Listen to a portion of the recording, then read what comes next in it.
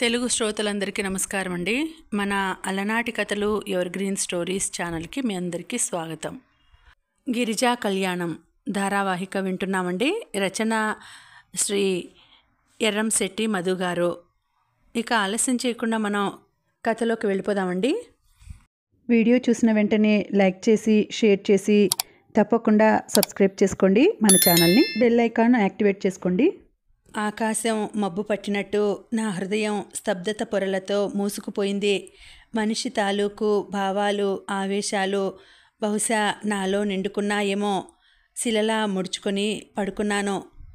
నిద్రరాని కళ్ళు పైకి చూస్తుంటే కలత చెందిన హృదయం కన్నీళ్ళు పెట్టుకుంది. ఆ రాత్రే కాదు చాలా రాత్రులు నేను నిద్రకి దూరం అయ్యాను సంధ్య అవుతోందంటే భయంతో వణికిపోయేదాన్ని. పొత్తి కడుపులో విపరీతమైన నొప్పి. ఇలా ఉందని చెబితే తగ్గిపోద్దిలేవే అని కొట్టిపారేసి అమ్మ అసలు నా బాధ ఏమిటో అడగని బావా. రోజు గడిచి అమ్మయ్య అని ఊపిరి తీసుకునేలోపు రాత్రి తిరిగి రెక్కలు కట్టుకొని వాలిపోతుంటే గుండె నిండా గుబులు ఎడతెగక కారే కన్నీరు. అసలు నా జీవితం ఎందుకిలా అయిపోయిందని ఎన్నిసార్లు తెల్లపోసి ఉంటాను? రాత్రి అవుతుంది తెల్లవారుతుంది. ఈరోజు ఎలాగా గడిచిందో గుర్తు కూడా లేకపోయాక అదేం జీవితం? అయినా పదమూడేళ్ళ వయసులో ఏముంటాయి కోరికలు? ఏ తీగను మిటినా అపస్వరమే. నాయకుడు రసజ్ఞత ఉన్నవాడు అయితే కొంతవరకు పర్వాలేదు. పామరుడైతే సంతోషాల సముద్రంలో నిర్లిప్తత ఓడ జీవిత కాలానికి కూడా గమ్యం చేరదు. అసలు భర్త అంటే ఎలా ఉండాలి? అతడు వస్తుంటే భార్య కళ్ళు పత్తికాయల్లా విచ్చుకోవాలి. హృదయం గులాబీ రేకులయ్యి విరిసి దారంతా నిండిపోవాలి. చెప్పాలంటే రాత్రి అప్పుడే గడిచిపోయిందా అనిపించాలి. నాకేమిటి? ఇంకా తెల్లవారలేదా అనిపిస్తోంది. మనస్సంతా స్తబ్దతతో నిండిపోతుంది. తెల్లవారైతే మంచానికి నువ్వటు నేనిటు ఏరుకోవటానికి ఏ ఆహ్లాదపు క్షణం కనిపించదు. ఒళ్ళు నొప్పులు తప్ప చెబితే బెరాల్గిన్ మాత్ర తెచ్చిచ్చే నువ్వు నా మనస్సు బాధకి ఏ మందు తేగలవు? తెల్లవారి లేచి అద్దం ముందు నిల్చుంటే జీవం లేని నవ్వు ఒకటి పెదవుల మీదకి వచ్చేస్తుంది. అది చాలదా? నేను వ్యధతో ఉన్నానో తెలుసుకోవడానికి. మనసులో సంతోషం లేకుండా పెదాలకి చిరునవ్వు పూత పూసి మొహానికి ఆనందపు ముసుగు వేసుకొని ఎంతకాలం జీవించటం? అయిపోగానే అటు తిరిగి పడుకునే మగాడు. ఒక్క క్షణం మేల్కొని భార్య కళల్లోకి చూస్తే ఎన్ని కథలు చెబుతాయని ధైర్యం ఉంటే చూడండి. గడిచింది వసంతమే కానీ ఎన్ని చేదు జ్ఞాపకాలని మిగిల్చిపోయిందది? ఎలాంటి సుఖాలు అనుభూతులు జ్ఞాపకాలు లేవు ఒక ఆడపిల్లకి తల్లిని మాత్రం అయిపోయాను. అది పుట్టగానే నాకు ఆనందం కలగలేదు దుఃఖం వచ్చింది. ఒంటరిగా గదిలో కూర్చొని పొగిలి పొగిలి ఏడ్చాను. నా ఆక్రందనని ఎవ్వరూ ఆలకించలేదు. పసిదాని ఏడుపులో అది కలిసిపోయింది. పిల్ల ఏడిస్తే వచ్చి పాలు పట్టవే అనే నా తల్లి. నా దీనాలాపనికి మాత్రం ఏ పరిష్కారం ఆలోచించలేదు. పెళ్ళి చేశాం చేతులు దులుపుకున్నాం అంతే. హృదయ వీణని శృతి చేయడంతోనే కాలమంతా కరిగిపోయింది. మనస్సు మొగ్గగానే ఆగిపోయింది. కాలేజీ అల్లరి స్నేహితులతో కలిసి డుమ్మాలు సినిమాలు ఇవన్నీ నాకు ప్రీతిపాత్రమైన కోరికలు. తామర పూలని కోసి నా రాముడికి అలంకారం చేయటం వ్యాపకాలు. అవేవి ఇప్పుడు లేవు. అలిగి పడుకుంటే తల్లి బుజ్జగింపులు లేవు. తండ్రి లాలింపులు లేవు. పైగా నన్ను పెద్ద ఆరిందాలాగా చూసేవాళ్ళు. ఇవన్నీ తలుచుకుంటే నాకు అలలు అలలుగా దుఃఖం వచ్చేది. మన ఇష్టాలని కోరికలని చంపుకొని మరొకరి కోసం బ్రతకడం దారుణం. దీనికంతటికీ ఎవరిని తప్పుపట్టాలి? భావన? అత్తయ్యనా? లేక ఎలాగోలా కూతుర్ని వదిలించుకోవాలని చూసే తల్లిదండ్రులనా? ప్రశ్న మాత్రమే జవాబు లేని ప్రశ్న. జరిగిన దానిలో నా తప్పేది లేకపోయినా అనుభవించాల్సింది మాత్రం నేనేగా? అది అర్థమైంది. నాకు జీవితకాలం బాధపడినా ఇక ఒరిగేది ఏమీ ఉండదు. అందుకే అలవాటు చేసుకున్నాను. గానుగెద్దు జీవితం సంసారం అనే గానుగ చుట్టూ తిరగటం అలసిపోతే ఆగటం మళ్ళీ ప్రయాణం. ఇలా ఎంతకాలం? నేను నాతో పాటు భావని మార్చగలిగితే? ఒకానొక సందర్భంలో నాకు వచ్చిన ఆలోచన అది. మనస్ఫూర్తిగా కలిసిపోయి అందరిలా హాయిగా ఉండగలిగితే? చక్కటి ఊహ. ప్రయత్నిస్తే? ఆ సందర్భం కూడా ఒకరోజు వచ్చింది. మా పెళ్ళి రోజు అది. చక్కటి శీతాకాలం. ఉదయమే లేచి తలారా స్నానం చేశాను. నాకిష్టమైన తెల్ల పూల చీర కట్టుకున్నాను. బావకిష్టమైనది ఒకటుందని నాకు తెలీదు. తల నిండా మల్లెపూలు తురుముకున్నాను. వెళ్ళి అద్దం ముందు నిలబడితే నాకే ఆశ్చర్యమేసింది. వివాహమై ఒక బిడ్డకి తల్లిని అయినా నా అందం పెద్దగా చెదరలేదు. కాకపోతే కళ్ళ కింద నల్లటి వలయాలు వచ్చాయి. అంతే. బావ డ్యూటీకి వెళ్ళటానికి రెడీ అవుతుండగా గదిలోకి వెళ్ళాను. తలెత్తి చూసి తిరిగి తన పనిలో లీనమయ్యాడు. మనస్సు చివుక్కుమంది. సమస్య చిన్నదే దాని భావమే ఆకాశమంతా. అయినా సర్దుకుని బావా అన్నాను. చొక్కా బొత్తాలు పెట్టుకుంటూ ఏమిటి? అన్నాడు. తల కూడా ఎత్తకుండా నీతో మాట్లాడాలి. మాట్లాడు మళ్ళీ పొడిగాని చెప్పాడు. నిజం భార్యాభర్తల మధ్య నిర్లక్ష్యం చేసినంత గాయం మరేది చెయ్యదు. కాకపోతే ఆడదాన్ని కదా ఓర్పు ఎక్కువ. అలా కాదు ముందు కూర్చో అన్నాను కోపం లేని గొంతుతో. ఏ మూలనున్నాడో ఎందుకు ఏమిటని ప్రశ్న వేయకుండా మంచం మీద కూర్చున్నాడో. నేను కూడా అతడి పక్కనే కూర్చుని అతడి చేతిని నా చేతిలోకి తీసుకుంటూ నువ్వు మారాలి బావా అన్నాను. మారటం అంటే కోపంగా కాదు మామూలుగానే అన్నాడు. సహజంగా అతడి మాటల్లో కోపానికి ప్రేమకి పెద్ద తేడా ఉండదు. నేను ఆలోచనల్లో ఉండగానే త్వరగా కానీ డ్యూటీకి టైం అవుతుంది అన్నాడు తిరిగి. నాకు మళ్ళీ కోపం రాలేదు. ఈరోజు మన పెళ్ళి రోజు బావా? అన్నాను. అయితే మండుతున్న అనుభూతి కెరటాలు కెరటాలుగా ఆ ఆలోచనలు కంటి రెప్పల వెనుక నీరు. బహుశా ఎవ్వరికీ కనిపించవు కాబోలు. నా గుండెకి తప్ప అయినా తమాయించుకున్నాను. అయితే కాదు ముందు సెలవు పెట్టు తర్వాత చెబుతాను అన్నాను కాస్త గట్టిగా. బావా కాసేపు ఆలోచించి సరే ఫోన్ చేసి చెప్తాలే అన్నాడు. నేను చెప్పసాగాను. బావా నువ్వు స్వతహాగా మంచివాడివి. సంసారం సాఫీగా సాగేందుకు అది మాత్రమే సరిపోదు. కనీసం మనసు విప్పి భార్యతో మాట్లాడు అన్నాను. ఏం మాట్లాడాలి? అడిగాడు బావా. మీ అమ్మతో ఏం మాట్లాడుతున్నావు? అలాంటివే బావ తలెత్తి చూసి మళ్ళీ సరే చెప్పు అన్నాడు. బహుశా కోపాన్ని అణుచుకున్నాడులాగుంది. నేను కొనసాగిస్తూ నా కష్టాలు అడుగు నీ కష్టాలు చెప్పు. నీకేం కష్టాలు అని మాత్రం అనకు బావా అని ఆగాను. అతను మౌనంగానే విన్నాడు. నేను గొంతు కాస్త గంభీరంగా మార్చి వాడుకుని వదిలేయటానికి నేనేం వస్తువుని కాదు బావా మనిషిని. నాకు మనసుంటుంది. దానికి కోరికలుంటాయి. చెప్పి ఆగి తిరిగి కొనసాగించాను. ఒక ముఖ్య విషయం చెప్పనా? ఇప్పటి వరకు నీ మీద నాకు ఎలాంటి ప్రేమ లేదు ఇది నిజం అని ఆగి భావమోహన్లోకి చూశాను. అతడిలో ఎలాంటి మార్పు లేదు కొనసాగించాను. కానీ మారాలనుకుంటున్నాను మారుతాను. వీలైనంత వరకు నిన్ను ఇష్టపడడానికి ప్రయత్నిస్తున్నాను. దానికి నీ వంతు సహకారం ఉంటే బాగుంటుంది. జీవితం అంటే ఉద్యోగానికి వెళ్ళటం రావటం తినటం పడుకోవటం కాదు బావా అని ఇంకా చెప్పబోగా బావ మధ్యలో అడ్డుపడ్డాడు. అయితే ఇప్పుడేం చేయాలి నేను? అన్నాడు. ఈరోజు పాపతో కలిసి సరదాగా బయట గడుపుదాం. పనిలో పనిగా సినిమా చూసి హోటల్లో భోంచేసి షాపింగ్ చేసుకుని వద్దాం బావా మార్ధవంగా చెప్పాను. బావా ఆలోచనలో పడ్డాడు. కాసేపు ఆగి ఒక మాట అమ్మతో చెప్పిపోదాం. మళ్ళీ వృధా ఖర్చులు దేనికి అని సనుగుడు మొదలు పెడుతుంది. అన్నాడు. నేను వినటం లేదు. అప్పటికే నా కోపం నశాలానికి అంటింది. తల్లికి చెప్పటాన్ని నేను తప్పు పట్టడం లేదు. అమ్మకి ఇచ్చే ఇంపార్టెన్స్లో సగమైన భార్యకివ్వాలి కదా. డ్యూటీకి వెళ్తూ ఏ రోజు తల్లికి చెప్పకుండా వెళ్ళడు. తిరిగి వచ్చాక కూడా తన గదికే వెళ్తాడు. మరి నేనెందుకు ఉన్నట్టు? వీడికి సుఖాన్ని ఇవ్వడానికా నేనేం వ్యభిచారినా? ఇతన్ని మార్చడం కాదు తల్లికి దూరం చేయాలి. మదిలో అనుకున్నాను. అది శాశ్వతంగా. ఇంతలో ఒరే ప్రసాదం ఇలారా అన్న మా అత్తయ్య పిలుపు వినిపించింది. బావా నాతో మరేమీ మాట్లాడలేదు. వస్తున్నానమ్మా అంటూ తిరిగి చూడకుండా వెళ్ళిపోయాడు. పాప మంచం మీద నిద్రపోతోంది. నేను గదిలో ఒంటరిగా మిగిలిపోయాను. కిటికీలోంచి సూర్యకిరణం పడి నా ముఖం ఎర్రగా మారింది.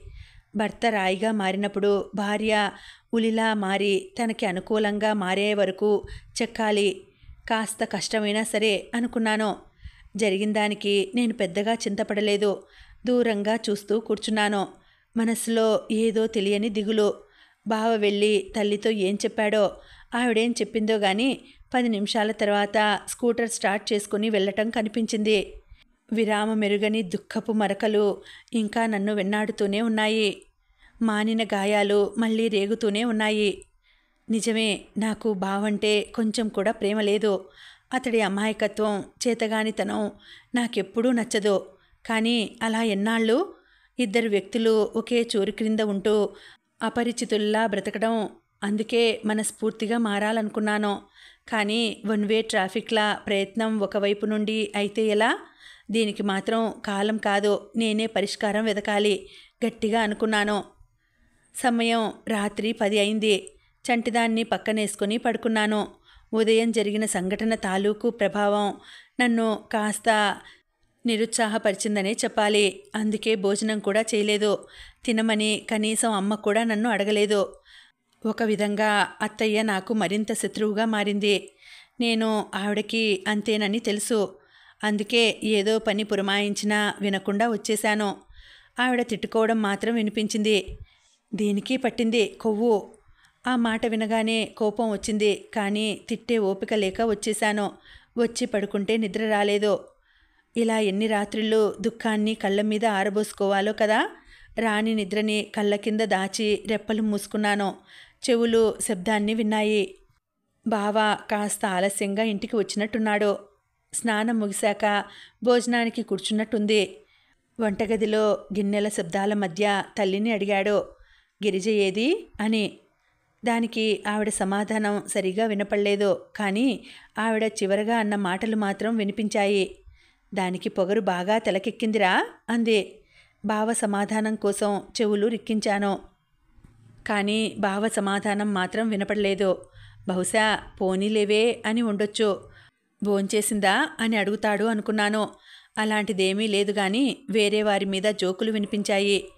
ఆ తర్వాత ఇద్దరూ కలిసి నవ్వుకోవడం వినిపించింది. గుండెల్లో ఏదో వెళితే భార్య దగ్గర దొర్లని మాటలు తల్లి వద్ద మాత్రం ఎలా వస్తాయి? పైగా అంతలా నవ్వొచ్చే మాటలు ఏముంటాయి? తను పిలిచినా సరిగా పలకడు. ఏదైనా అడిగితే పొడిగా సమాధానం ఇస్తాడు. పెళ్ళి జరిగి ఏడాది గడిచినా ఈ రోజుకి ఒక చీర కాదు కదా? మూర మల్లెపూలు తెచ్చిన పాపాన పోలేదు. పోనీ తల్లి చెబుతుందా అంటే అంత ఇంగితం ఆవిడికి లేదు. అయినా ఇలా ఆలోచిస్తూ పోతే చాలా వాటికి బాధపడాలి. ఆలోచనలు విరమించి దుప్పటి కప్పుకొని పడుకున్నాను. రహస్యం ఏమీ ఉండదు. అంతా తెలిసిపోతూనే ఉంటుంది. ఆశలు కోరికలు హృదయపు లోతుల ఆవలివైపు నిశ్శబ్దిస్తాయి. అయినా మట్టి కింది విత్తనంలా మది కలలు కంటూనే ఉంటుంది. స్వప్నాలు సముద్రపు అలల్లా దూరంగా పారిపోయి తిరిగి వస్తూనే ఉంటాయి.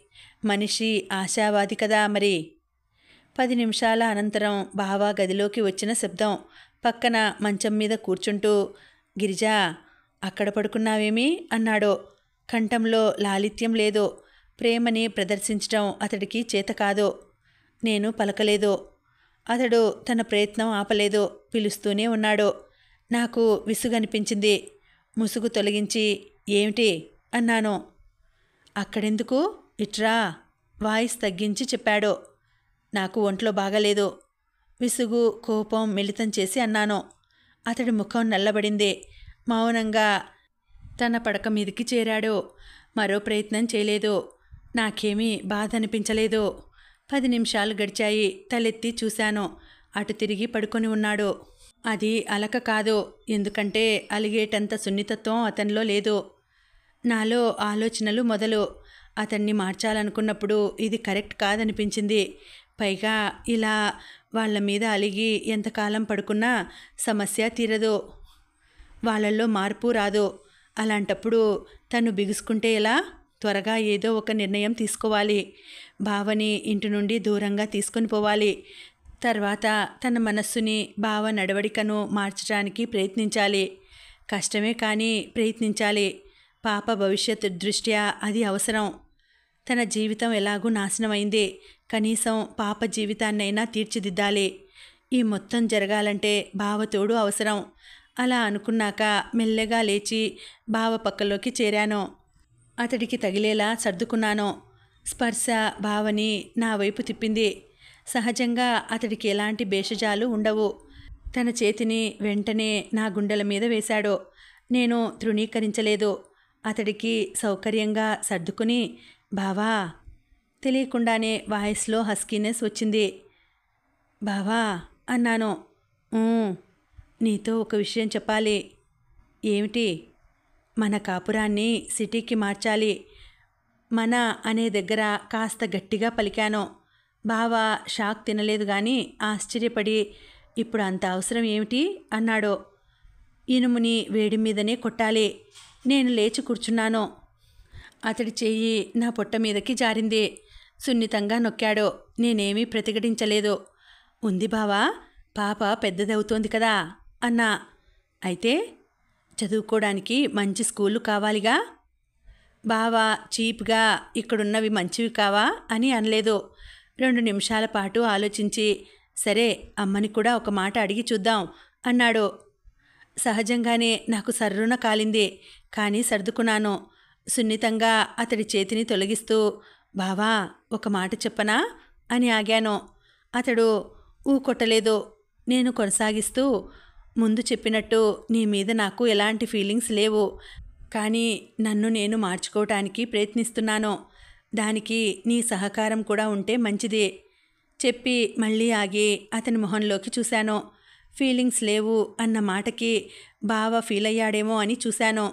అదేమీ లేదు. తిరిగి చెప్పాను తల్లి అందరికీ కావాలి కాదనను. అలాగని మిగతా జీవితాన్ని కోల్పోలేం కదా. పైగా మనమేమీ ఆవిడ్ని శాశ్వతంగా దూరం పెట్టడం లేదుగా. మనల్ని చూడాలనిపిస్తే అప్పుడప్పుడు వచ్చిపోతూ ఉంటుంది అన్నాను. అతడు కన్ఫ్యూజన్లో పడి ఆగు అంటే అమ్మ మనతో ఉండట్లేదా? అన్నాడు. నేను తొట్టుపడలేదు దృఢంగా చెప్పాను లేదు బావ మాట్లాడలేదు. బహుశా తల్లి విషయం జీర్ణించుకోలేకపోతున్నాడు అనుకుంటా. మొహాన క్వశ్చన్ మార్క్ పెట్టుకొని అలాగే నిలబడిపోయాడు. నేను కొనసాగిస్తూ ఇక్కడైతే అమ్మ నాన్న వాళ్ళు ఉంటారు కాబట్టి ఆవిడకి కాలక్షేపం అవుతుంది. అక్కడెవరుంటారు? పాప స్కూల్కి వెళ్తుంది. నువ్వేమో డ్యూటీకి వెళ్తావు. నేను నా చదువుని తిరిగి కొనసాగించాలని అనుకుంటున్నాను. అలాంటప్పుడు ఒంటరిగా ఎలా ఉండగలదు? చెప్పి ఆగాను.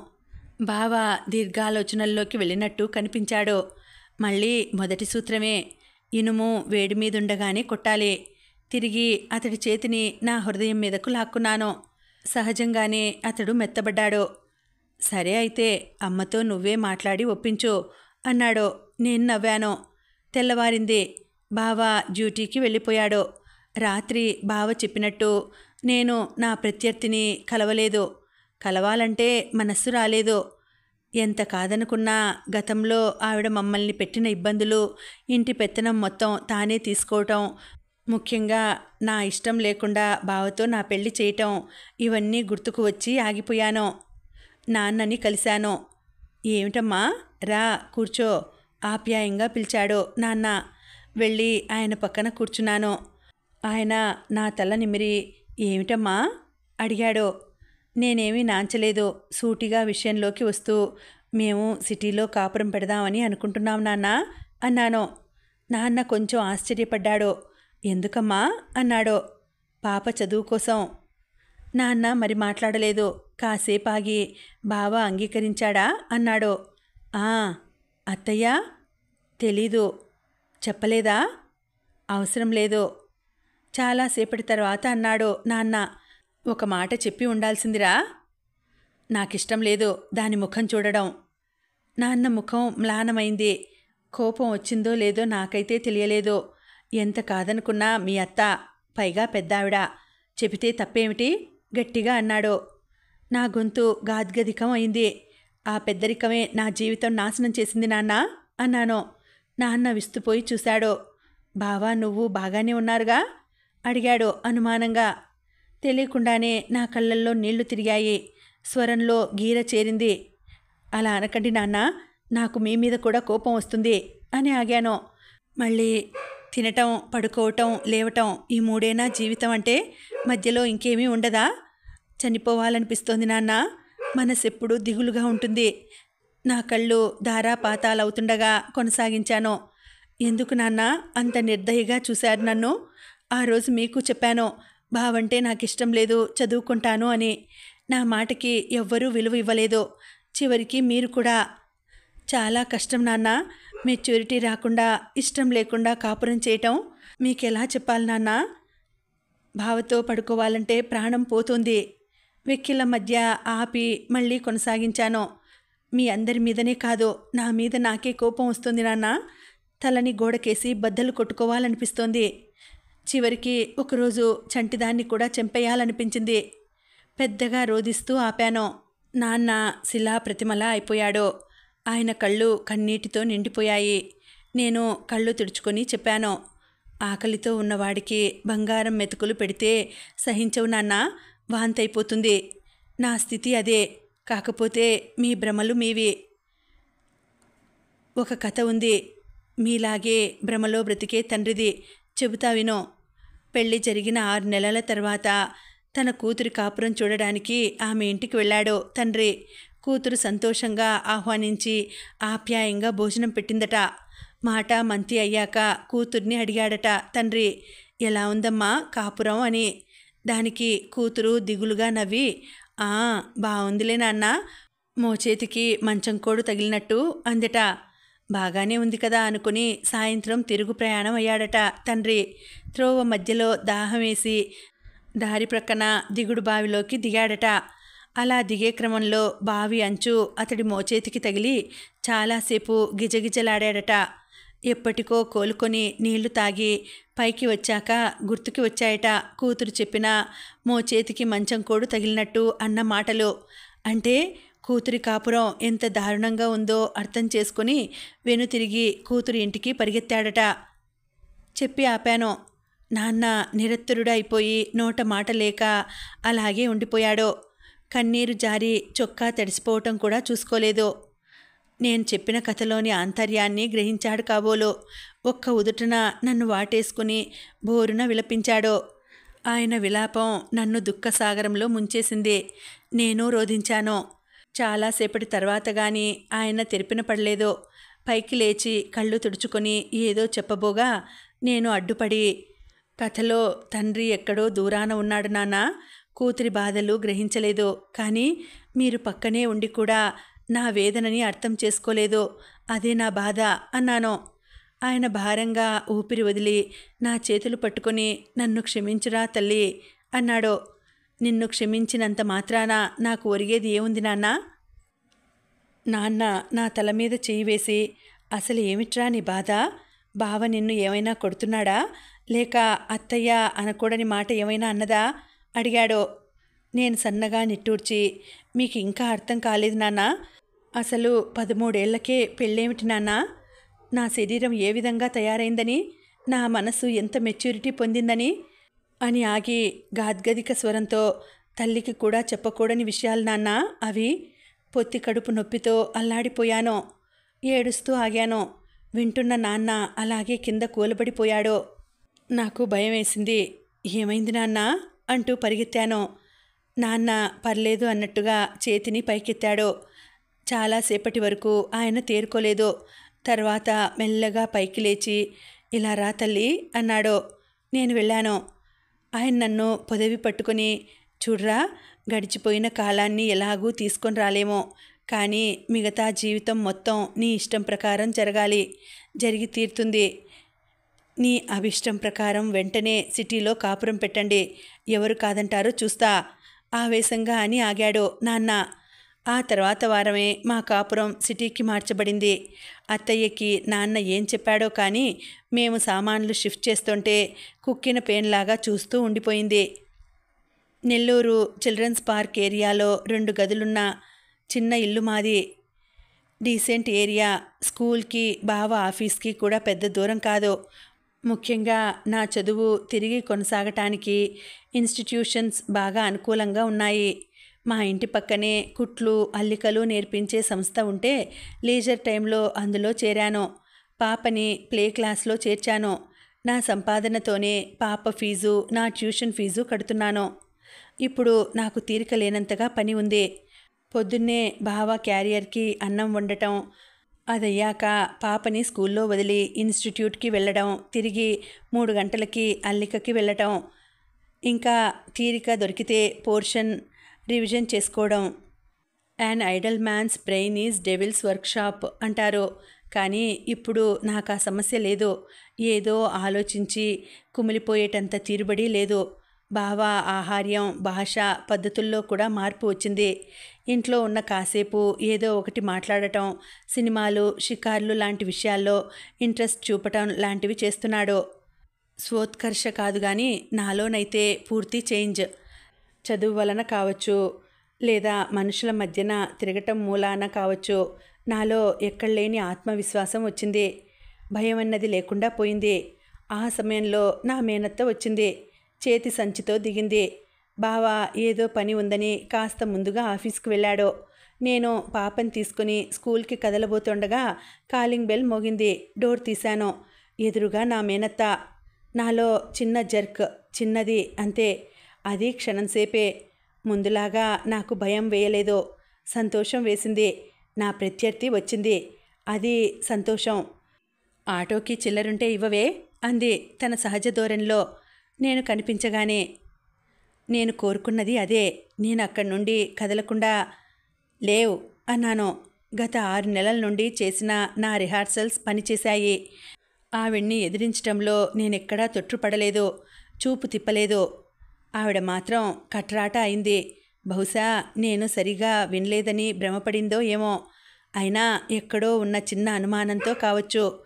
ఇక నన్ను డబ్బు అడగకుండా బొడ్లోంచి చిన్న సంచి తీసి అందులో కెలికి కెలికి పది రూపాయలు తీసి ఆటోవాడికి ఇచ్చింది ఇంట్లోకి రాబోయింది. ఎక్కడికి? ఎవరినో?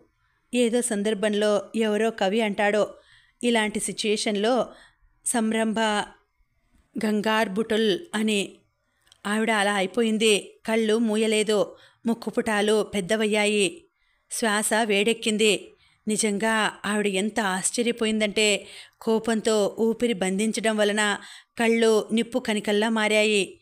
ఎంతలా అంటే వాటికే గనక శక్తి ఉంటే ఎదుటి వ్యక్తి భస్మం అయిపోవాలి.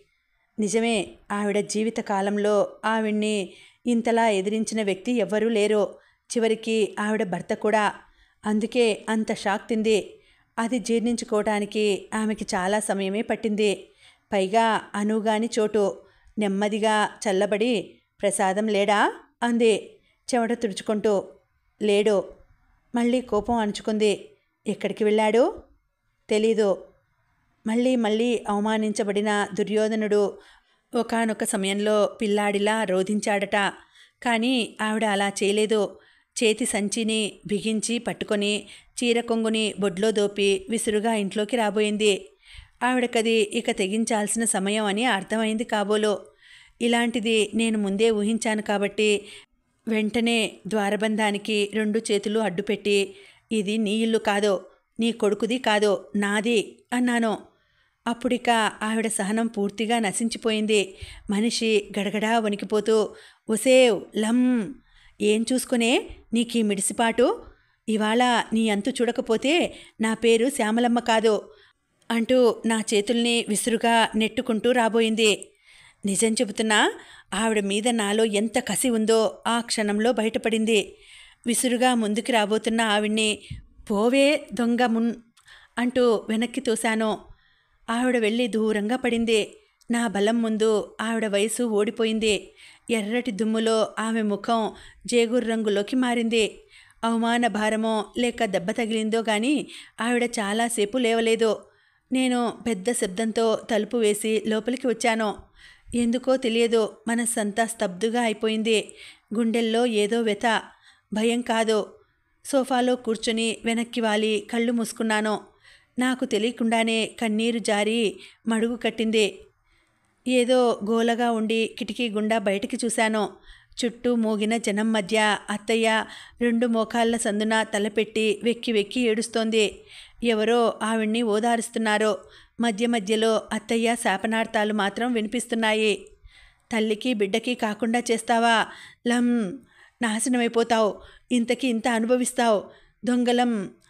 ఆవిడ తిట్లు కాదు కానీ అంత పెద్దావిడ నడి రోడ్డుపై కూర్చుని బోరున విలపించటం చూసి జాలేసింది. బాధ కాదు. అది కాసేపే. ఎందుకంటే అప్పటి వరకు సాఫీగా సాగిపోతున్న మా సంసారంలో ఆవిడ రాక ఎంత దుమారం లేపిందో అమ్మా నాన్నల్ని ఎంత టార్చర్ పెట్టిందో తెలిసిందే. ముఖ్యంగా నా విషయంలో ఆవిడ కుచితం తలుచుకుంటే ఇప్పటికీ నా రక్తం సలసలా మరిగిపోతుంది. ముక్కుపచ్చలారని వయసులో నా కోరికల్ని కలల్ని ఆశల్ని చంపేసి ఒక అమాయకుణ్ణి ఇచ్చి కట్టబెట్టి పద్నాలుగేళ్ళకే తల్లిని కూడా అయ్యేలా చేసి జీవితకాలం కుమిలిపోతూ బ్రతికేలా చేసింది. ఇప్పుడు కాస్త కుదురుకుంటున్న సమయంలో మరలా దిగబడింది. మళ్ళీ మా దంపతుల మధ్య ఏ ఉపద్రవం తెచ్చిపెడుతుందో అని నా భయం. అందుకే నేను అంతలా తెగించాను. అలాగని నా భర్త మీద లేని ప్రేమ కొత్తగా ఉద్భవించిందని కాదు. నా కూతురి భవిష్యత్తు నా అస్తిత్వం కూడా ప్రశ్నార్థకంలో పడుతుందన్న భయమే నా అత్తని ఎదిరించడానికి గల కారణం. దానికి రుజువు కూడా ఉంది. ఆవిడతో కలిసి ఉన్నంతకాలం బావలో ఎలాంటి మార్పు లేదో. తనకి ఒక భార్య కూతురు ఉందన్న ఎరుక కనీసం లేదో. ఎప్పుడూ తల్లితోనే కబుర్లు. తిండి కూడా ఆమె చెప్తేనే తినే స్థాయికి వచ్చాడో. ఏనాడు మాట వరుసకైనా నువ్వు తిన్నావా? అని నన్ను అడిగింది లేదు. పచ్చిగా చెప్పాలంటే తల్లి పొత్తిళ్ళలోనే అతడి వ్యక్తిత్వం ఆగిపోయింది. తిరిగి ఆ స్థితి రాకూడదంటే నేను చేసింది కరెక్టే. ఆ తర్వాత ఫలితం ఏమిటనేది నాకు తెలియదు. బావ వస్తే తప్ప కిటికీ తలుపులు మూసి లోనికి వచ్చాను. నా కూతురు ఒక్కటే బిక్కు బిక్కుమంటూ కూర్చుని ఉంది. జరిగిన గొడవని గ్రహించిందేమో ఏడుపు మొహం పెట్టింది. వెళ్ళి దానిని ఒడిలోకి తీసుకున్నాను.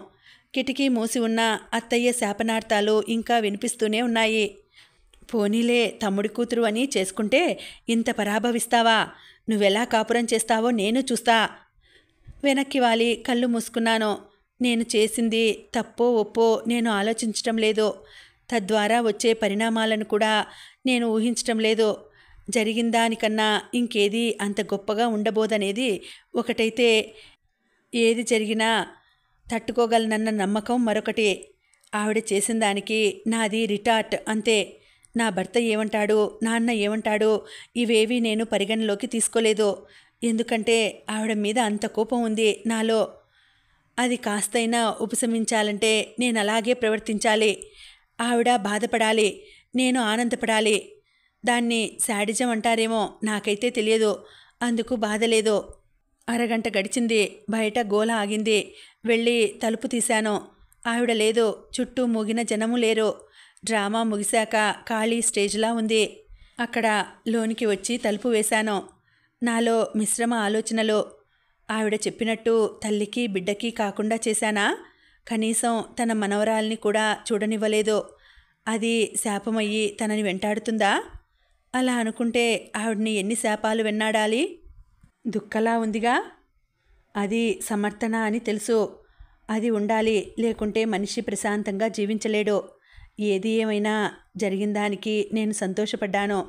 నా కోరిక నెరవేరింది. టిట్ ఫర్ ట్యాట్ ఇక ఆ తర్వాత జరిగే పరిణామాల గురించి ఆలోచించాలి. ఏది జరిగినా మానసికంగా సిద్ధపడాలి. ఒకవేళ జరిగితే మొదటి దాడి బావ వైపు నుండి జరగాలి. అలాగే ఊహించాను. కానీ అటు నుండి రాలేదు. నాన్న వైపు నుండి వచ్చింది. నేను ఆ రోజు ఇన్స్టిట్యూట్కి వెళ్ళలేదు. పాపని కూడా స్కూల్ మానిపించాను. సమయం పన్నెండు ముప్పై. భోజనం చేసి టీవీ చూస్తూ కూర్చున్నాను. బెల్ మోగింది. వెళ్ళి తలుపు తీశాను. ఎదురుగా నాన్న. ఆయన ముఖం జేవురించి ఉంది. నాకు కొంతవరకు అర్థమైంది. అత్తయ్య వెళ్ళి తన మీద ఏవో అబద్ధాలు కల్పించి చెప్పి ఉంటుంది.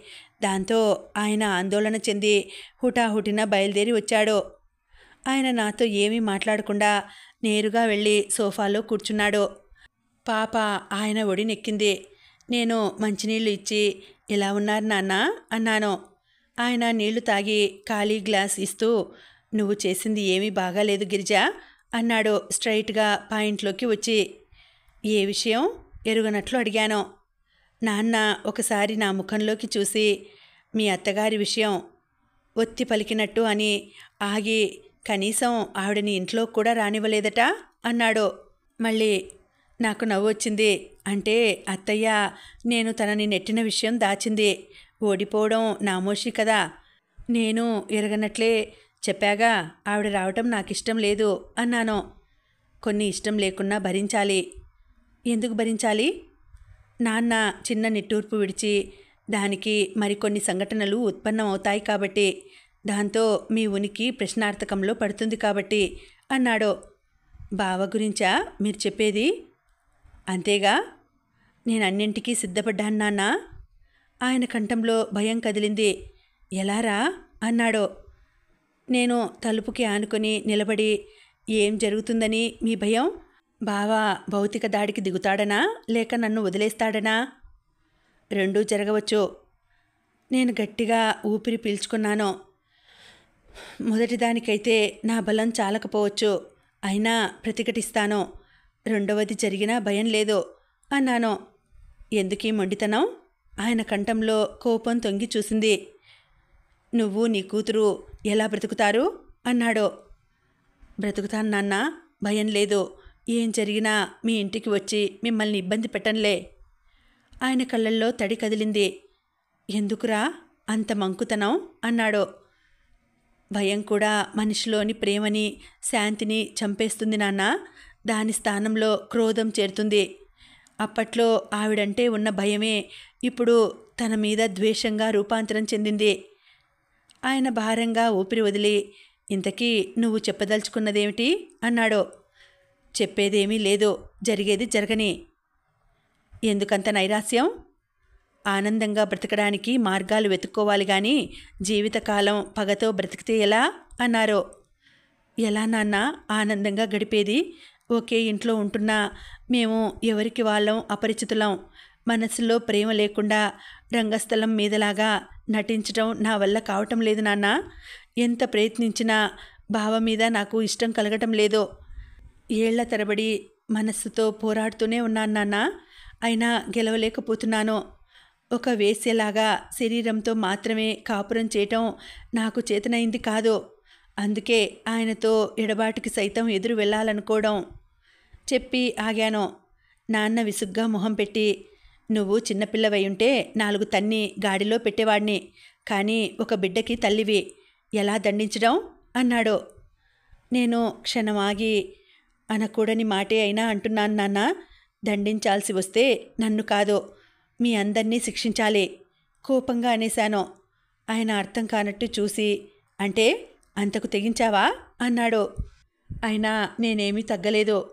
ఇది తెగింపు కాదు నాన్న వాస్తవం అన్నాను. నాన్న కోపంగా పైకి లేచి ఎలా ఎలా బ్రతుకుతావే నువ్వు? అన్నాడు. నేను మరి మాట్లాడలేదు. ఆయనే అన్నాడు మళ్ళీ. నేను వెళ్తున్నాను. నీ చావు నువ్వే చావు. భోంచేసి వెళ్ళండి. వద్దు. కోపంగా అనేసి వెళ్ళిపోయాడు నాన్న. అయినా కాస్త దూరం వెళ్ళి వెనక్కి వచ్చి జరిగిందేదో జరిగింది. ఇప్పటికైనా బుద్ధి తెచ్చుకొని అత్తయ్యని బావని క్షమాపణ వేడుకొని నీ సంసారాన్ని నిలబెట్టుకో అన్నాడు. అసలు బావే వద్దనుకుంటున్న సమయంలో మీరు క్షమాపణల గురించి చెబుతారేంటి నాన్న? అని మళ్ళీ ఒకవేళ ఏదైనా రాద్ధాంతం జరిగితే బావ కంటే ముందు నేనే వదిలేస్తాను. తప్పితే అతన్ని వేడుకునే ప్రశ్నే లేదు. అన్నాను. ఇంకా ఉందండి. కథ కొనసాగుతుంది. మళ్ళీ వచ్చే వీడియోలో తర్వాతి భాగం తెలుసుకుందామండి. అంతవరకు సెలవు. నమస్తే.